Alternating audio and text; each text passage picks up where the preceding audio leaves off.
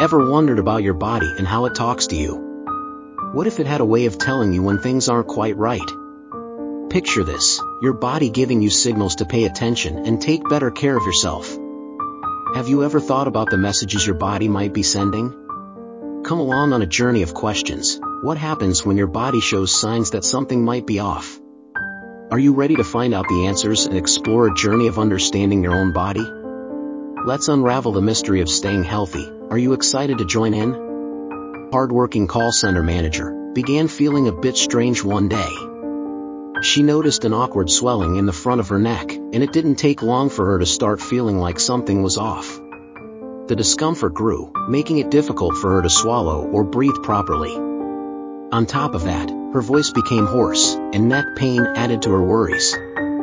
Concerned about these unusual symptoms, Sophia decided it was time to see her local doctor, known as a general practitioner, GP. The GP, after carefully examining Sophia, felt it was best to send her to a specialist called an endocrinologist. This expert deals with issues related to glands and hormones, including the thyroid. Anxious and terrified, Sophia went for a series of investigations with the endocrinologist. Expert used tests like blood work, biopsies, and scans to understand what was happening with Sophia's thyroid. After the thorough examination, the endocrinologist sat down with Sophia to discuss the findings. The endocrinologist explained that she had thyroid cancer. While the word cancer can be terrifying, the endocrinologist reassured Sophia that thyroid cancer is often highly treatable, and many people recover well. The expert addressed Sophia's fears, patiently explaining the types of thyroid cancer she had and the available treatment options. Thyroid cancer develops in your thyroid, a small, butterfly-shaped gland at the base of your neck. This gland produces hormones that regulate your metabolism, how your body uses energy. Thyroid hormones also help control your body temperature, blood pressure, and heart rate. Thyroid cancer, a type of endocrine cancer, is generally highly treatable, with an excellent cure rate. Healthcare providers classify thyroid cancer based on the type of cells from which the cancer grows. Types of thyroid cancer include papillary. Up to 80% of all thyroid cancers are papillary, most common thyroid cancer. This cancer type grows slowly, Although papillary thyroid cancer often spreads to lymph nodes in your neck, the disease responds very well to treatment. Papillary thyroid cancer is highly curable and rarely fatal. Follicular, follicular thyroid cancer accounts for up to 15% of thyroid cancer diagnoses. This cancer is more likely to spread to your bones and organs, like your lungs. Metastatic cancer, cancer that spreads, may be more challenging to treat. Medullary, about 2% of thyroid cancers are medullary. A quarter of people with medullary thyroid cancer have a family history of the disease. A faulty gene, genetic mutation, may be to blame. Anaplastic, this aggressive thyroid cancer is the hardest type to treat. It can grow quickly and often spreads into surrounding tissue and other parts of your body. This rare cancer type accounts for about 2% of thyroid cancer diagnoses. Healthcare providers use a staging system to determine if and how far thyroid cancer has spread. Generally, when cancer cells in your thyroid metastasize, they spread to your nearby structures and lymph nodes first. After that, the cancer can spread to distant lymph nodes, organs, and bones. Thyroid cancer stages range from 1I to 4, 4. In simple terms, the higher the number, the more the cancer has spread you or your healthcare provider might feel a lump or growth in your neck called a thyroid nodule. Don't panic if you have a thyroid nodule. Most nodules are benign, not cancer. Only about 3 out of 20 thyroid nodules turn out to be cancerous, malignant. Other thyroid cancer symptoms include difficulty breathing or swallowing, loss of voice, hoarseness, swollen lymph nodes in your neck.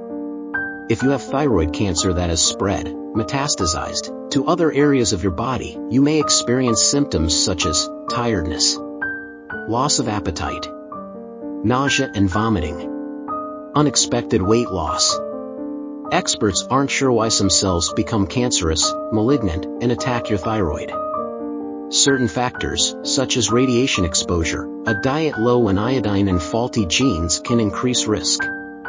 Other risk factors include enlarged thyroid, goiter, family history of thyroid disease or thyroid cancer, thyroiditis, inflammation of your thyroid gland, gene mutations, changes that cause endocrine diseases, such as multiple endocrine neoplasia type 2A, MEN2A, or type 2B, MEN2B, syndrome, low iodine intake, obesity, radiation therapy for head and neck cancer, especially during childhood, exposure to radioactive fallout from nuclear weapons or a power plant accident. If you have an enlarged thyroid nodule or other signs of thyroid cancer, your healthcare provider may order one or more of these tests. Blood tests. A thyroid blood test checks hormone levels and gauges whether your thyroid is functioning properly. Biopsy. During a fine needle aspiration biopsy, your healthcare provider removes cells from your thyroid to test for cancer cells. A sentinel node biopsy can determine if cancer cells have spread to lymph nodes. Your provider may use ultrasound technology to guide these biopsy procedures. Radioiodine scan. This test can detect thyroid cancer and determine if cancer has spread. You swallow a pill containing a safe amount of radioactive iodine, radioiodine. Over a few hours, your thyroid gland absorbs the iodine. Your healthcare provider uses a special device to measure the amount of radiation in the gland. Areas with less radioactivity need more testing to confirm the presence of cancer. Imaging scans, radioactive iodine scan, computed tomography, CT, and positron emission tomography, PET, scans can detect thyroid cancer and cancer spread. Treatments for thyroid cancer depend on the tumor size and whether the cancer has spread. Treatments include surgery. Surgery is the most common treatment for thyroid cancer.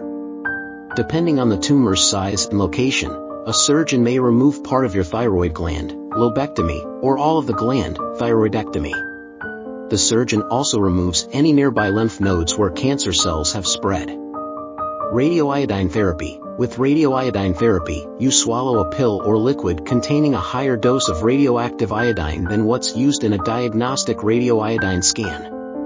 The radioiodine shrinks and destroys the diseased thyroid gland along with cancer cells. This treatment is very safe. Your thyroid gland absorbs almost all of the radioiodine and the rest of your body has minimal radiation exposure. Radiation therapy, radiation kills cancer cells and stops them from growing. External radiation therapy uses a machine to deliver strong beams of energy directly to the tumor site.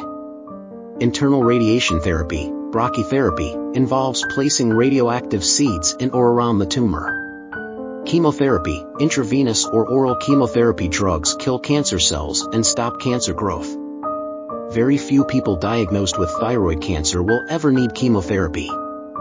Hormone therapy, this treatment blocks the release of hormones that can cause cancer to spread or come back.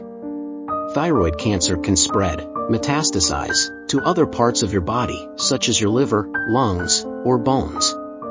Detecting and treating thyroid cancer in the early stages reduces your risk for metastasis. Thyroid cancer can recur, come back, even after treatment.